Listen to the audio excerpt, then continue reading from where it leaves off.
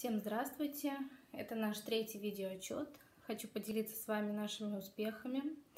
Как и в предыдущих видео я говорила, что наша самая главная проблема, что ребенок не говорит, а, вот, то сейчас у нас уже пошли первые слова.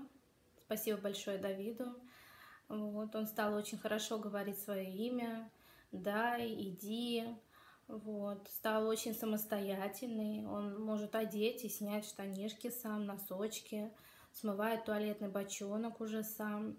Вот. До знакомства с Давидом, если малыш хотел пить, он показывал на бутылку или же приносил мне ее, чтобы я ему налила либо сок, либо воду. То сейчас он уже сам открывает крышечку и наливает себе стаканчик воду или сок и пьет. Вот. Также хочу сказать о своем состоянии здоровья. Я себя намного лучше стала чувствовать, я стала спокойнее. На некоторые вещи я стала смотреть проще, меньше нервничать. И тем самым, конечно, ребенок стал спокойнее. Вот, видя, что мама так уже не реагирует на все, что это на меня не действует, он стал быстрее успокаиваться. Вот, в садике его тоже очень хвалят.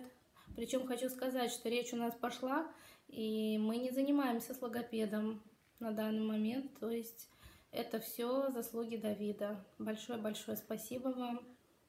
Вот. И всего хорошего всем. Спасибо.